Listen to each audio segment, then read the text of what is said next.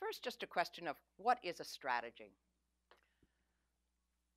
If you analyze where you are now and what you have, and you figure out where you want to be, where do you want to get to, what do you want to win, and you say, what are the steps to get there? That step, those steps, that plan is a strategy. This is one tool that you can use for developing a strategy. There are five categories.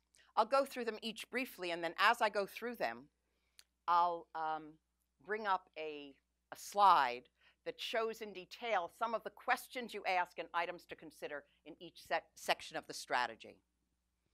And the parts fit together, and then following this, we'll have two extraordinary organizers of the next generation go through a strategic planning example.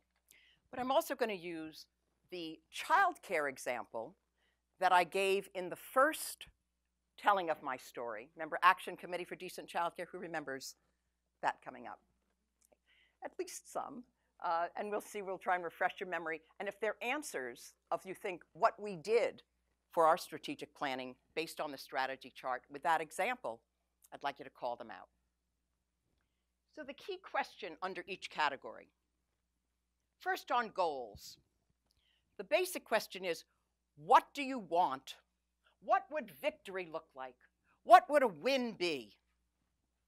The second, organizational considerations. What resources do you have and what do you need? The third, constituencies. I sometimes call it the brutal category because really it's the question of who cares? Who would actually want to fight on this? Who would have their life improved, improved by it?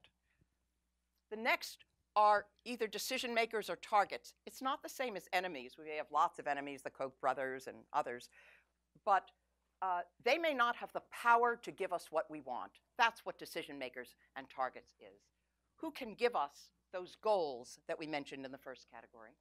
And the last are tactics. What are all the actions you can take in order to influence the decision makers, recruit and support those constituencies, strengthen the organization to win your goals.